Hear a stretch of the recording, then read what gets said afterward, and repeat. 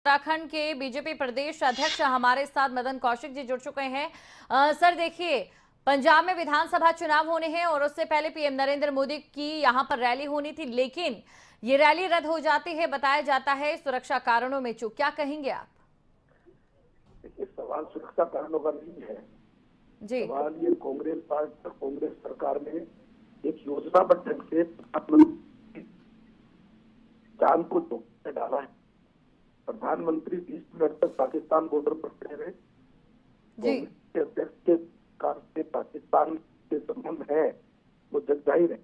ऐसी परिस्थितियों में कांग्रेस पार्टी और पंजाब की कांग्रेस सरकार ने जो किया है ये उनका कहीं ना कहीं जानबूझकर किया हुआ कार्य है इसकी जाँच होगी और निश्चित रूप से ये जो सही है देश के सामने आएगी जी लेकिन देखिए कांग्रेस की ओर से भी आरोप लगाए जा रहे हैं। रणदीप सुरजेवाला इस समय ये कह रहे थे कि तैयारियाँ पूरी थी लेकिन बावजूद उसके पीएम नरेंद्र मोदी ने वापस जाने का फैसला लिया।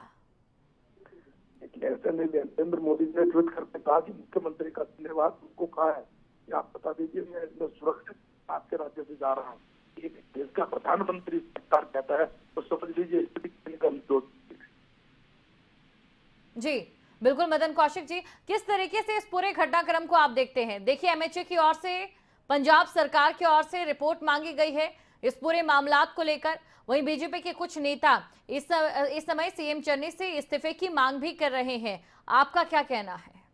मामला बहुत गंभीर है।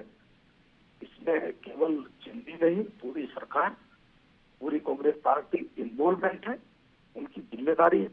उन्होंने जिस प्रकार देश की छवि को पूरी दुनिया में खराब किया। प्रधानमंत्री केवल बीजेपी के नहीं है, प्रधानमंत्री पैंतीस करोड़ लोगों के हैं। प्रधानमंत्री देश के प्रधानमंत्री प्रकार से उन्होंने इस परिस्थिति में खड़ा किया। मैं और निंदा करता हूँ और निश्चित रूप से इसके सामने जाएगा।